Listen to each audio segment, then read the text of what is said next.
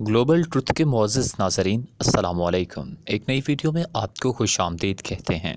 Imran Khan तैयबुरदमान Mahathir Mohammad एक बार फिर मुस्लिम दुनिया को सुपर पावर बनाने के लिए तैयार। मलेशिया में सियासी हलचल, मुल्क में इमरजेंसी नाफ। पार्लियामेंट को मुअत्तल कर दिया गया। महातीर मोहम्मद वज़ीर आज़म बनने को तैयार। मोहम्मद बिन सलमान मोदी अपनी अपनी जगह परेशान। अब कश्मीर भी आज़ाद होगा और नई ओ आई सी भी बनेगी। कुआलालंपुर समिट का नामुमकिन मिशन पूरा करने का वक्त आ गया। वीडियो के आखिर में हम आपको बताएँगे कि मलेशियन अवाम उम्मत मुस्लिमा के हर दिल अज़ीज़ लीडर महातीर मोहम्मद को एक बार फिर वज़ीर आज़म बनाने का ऐलान कर दिया। बड़ी खुशखबरी आ गई। नाजिन इकराम वीडियो का आगाज़ करने से कबल नए आने वाले दोस्तों से गुजारिश है कि वो हमारे यूट्यूब चैनल को सब्सक्राइब कर लें। नाजिन, माजी करीब में दो ऐसे वाकयात हुए हैं जिनसे ये ज़ाहिर होता है कि मलेशिया में इमरजेंसी के नफाज में भारत और सऊदी अरब का हाथ शामिल है। मेरी बात आपको हैरानी में मुबतला ज़रूर करेगी, लेकिन मैं आपको एक एक सबूत फराहम करूँगा, जिससे ये बात वाजह हो जाती है कि सऊदी अरब और भारत ही इस सारे खेल के पीछे हैं। आपको याद होगा कि 5 अगस्त 2019 में जब मोदी ने कश्मीर की खसूसी हैसियत खत्म की तो इस वक्त पाकिस्तान का मलेशियन वज़ीर आज़म महातीर मोहम्मद ने खुलकर साथ दिया और भारत के साथ अरबों डॉलर की तजारत के बावजूद महातीर मोहम्मद ने मोदी हुकूमत की पॉलिसीज़ पर खुलकर तनकीद की थी। मलेशिया ने नरेंद्र मोदी की पॉलिसीज़ को तनकीद का निशाना बनाते हुए उन्हें मुस्लिम मुखालिफ करार दिया था। जब सन 2018 में महातीर मोहम्मद इकतदार में आए तो भारतीय वज़ीर आज़म नरेंद्र मोदी इन आलमी रहनुमाओं में शामिल, जिन्होंने सबसे पहले उन्हें मुबारकबाद दी। भारतीय वजारत खारजा के एक तर्जमान का कहना था कि हमारी ईस्ट पॉलिसी में मलेशिया को तरजीह हासिल है।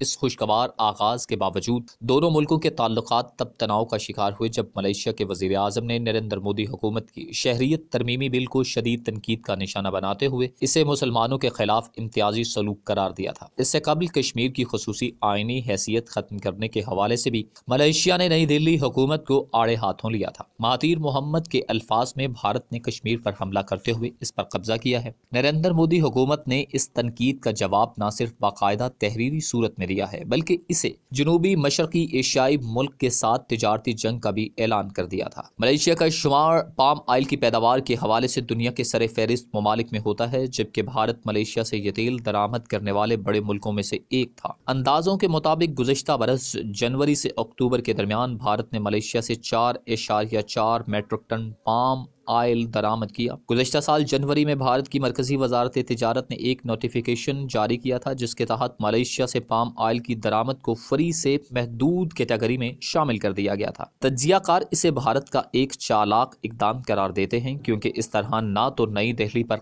बाकायदा पाबंदी आयद करने का इल्ज़ाम आयद होगा, और दूसरी तरफ़ मलेशिया को वाज पैगाम भी दे दिया गया था कि मोदी की हुकूमत इसकी तनकीद से खुश नहीं है। महातीर मोहम्मद की इस तनकीद के बाद और भारत के खिलाफ ऐसा इकदम उठाने पर महातीर मोहम्मद को मजबूर कर दिया गया था कि वो हुकूमत से मुस्ताफ़ी हो जाएँ, जिसके बाद उन्होंने हुकूमत से इस्तीफ़ा भी दे दिया। नाजीन दूसरी अहम बात जिससे ये बात वाज होती है कि मलेशिया में पैदा होने वाली ताज़ा तरीन सूरत हाल में सऊदी अरब का भी हाथ है। आपको याद होगा कि साल 2019 में कुआलालंपुर समिट मुनद हुई और इसमें पाकिस्तान, मलेशिया और तुर्की ने शिरकत करनी थी, लेकिन सऊदी अरब ने पाकिस्तान पर दबाव बढ़ाया और कि वो इस समिट में शिरकत ना करे। पाकिस्तान ने सऊदी दबाव में आकर इस समिट में शिरकत नहीं की थी। लेकिन तब से मलेशिया और महातीर मोहम्मद अरबों को एक आँख नहीं भा रहे। अरबों को डर था कि कहीं मलेशिया, तुर्की और पाकिस्तान एक साथ हो गए तो इस्लामी दुनिया में इनकी क्यादत को शदीद खतरात लाक हो सकते हैं। इसी वजह से अरबों ने भारतीयों के साथ मिलकर साजिश की और साजिश में महातीर मोहम्मद को हुकूमत से हाथ धोना पड़ गए। लेकिन साफ़ सी बात है कि इस्लामी दुनिया के दो बड़े लीडरान, जिनमें से एक इमरान खान है और दूसरे रजब तैयब हैं, दोनों महातीर मोहम्मद के बहुत बड़े मद्दा हैं।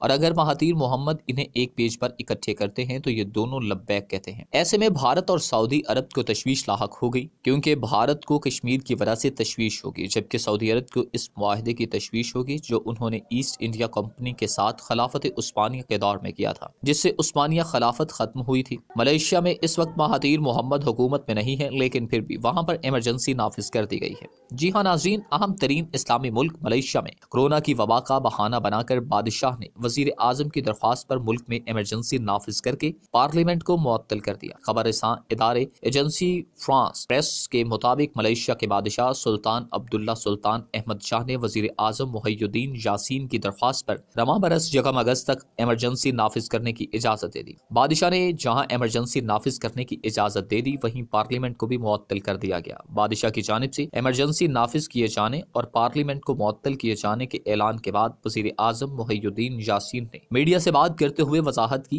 कि इमरजेंसी नाफिज किए जाने का मतलब मार्शल लगाना नहीं है। उन्होंने वाजे किया कि पार्लियामेंट के मुअत्तल रहने के बावजूद तमाम मामला सिविल हुकूमत देखेगी और कोरोना वबा के बायस पैदा होने वाली सूरत हाल मामूल पर आते ही इंतबात कराए जाएँगे। मलेशिया में कोरोना को बहाना बनाकर एक ऐसे वक्त पे इमरजेंसी नाफिज करके पार्लियामेंट को मुअत्तल किया गया है, जबकि रवा बरस के वस्त तक वहाँ आम इंतबात कराए जाने की उम्मीद थी। नाजीन अगरचा हुकूमत ने आम इंतबात की कोई तारीख नहीं दी थी, ताहम दो हज़ार बीस में कहा था कि कोरोना के बायस होने वाली सूरत हाल मामूल पर आते ही दो हज़ार इक्कीस में इंतबात कराए जाएँगे। अगरचा गुजशत एक हफ़्ते के दौरान मलेशिया में कोरोना के केसेस में इजाफा देखा जा रहा है। ताहम इसके बावजूद वहाँ बारह जनवरी दो हज़ार इक्कीस तक मजमू केसेस की तादाद एक लाख बयालीस हज़ार से भी कम थी और वहाँ अमवाद की तादाद छह सौ से भी कम थी। मलेशिया में गुजशत बरस फरवरी में सियासी हालात इस वक्त कशीदा हो गए थे।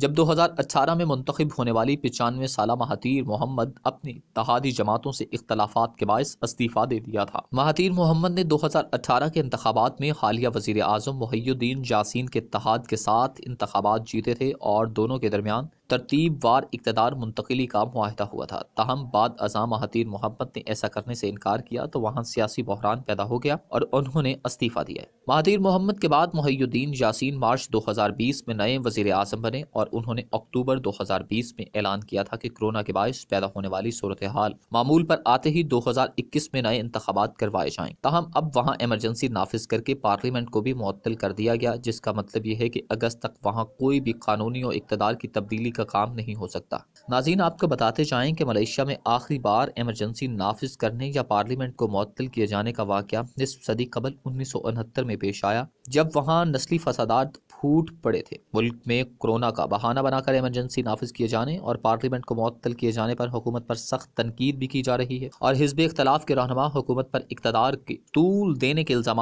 लगा रहे हैं। जहाँ सूरत हाल बड़ी दिलचस्प हो गई है, यहाँ से आने लोगों से बड़ी गलती हो गई, क्योंकि जब भी नए इंतबात मुनद होंगे, तब यकीनी तौर पर महातीर मोहम्मद की पार्टी इलेक्शन जीतने में कामयाब हो जाएगी और महातीर मोहम्मद की हुकूमत बन जाएगी और कश्मीर की आज़ादी सफ़र नई सिरे से महातीर मोहम्मद की क्यादत में शुरू हो जाएगा। दूसरी जानब आर्मीनिया आजरबाईजान जंग में भी पाकिस्तान ने जिस तरह अपने बरदर मुल्क आजरबाईजान की मदद की थी, दुनिया भर में एक मिसाल है। अब जबकि तुर्की और आजरबाईजान के वज्र खारजा पाकिस्तान में मौजूद है, और ये कहना भी गलत नहीं होगा कि मुमकिन है कि इस्लामी दुनिया के ये ममालिक मिलकर एक इस्लामी ब्लॉक बन की बुनियाद रखें। तो ऐसी सूरत हाल में सऊदी अरब के तमाम तरखदशात और इमरान खान के डटे रहने की तमाम वजूहत भी सच साबित हो रही हैं। अब तक की इतलात के मुताबिक सऊदी वज़ीर खारजा का दौरा पाकिस्तान, जो कि इसी माह मतव था। वो तखिर का शिकार हो चुका है और इसकी सबसे अहम तरीन वजह तुर्की अजरबैजान और पाकिस्तान का ज़बरदस्त इतिहाद है। आखिर में एक बार फिर तमाम दोस्तों से गुजारिश है कि हमारे चैनल को सब्सक्राइब करते चलें और साथ